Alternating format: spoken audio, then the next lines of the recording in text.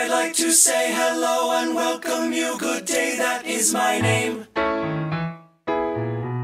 Come here and sit down. I'm so glad you even really truly came.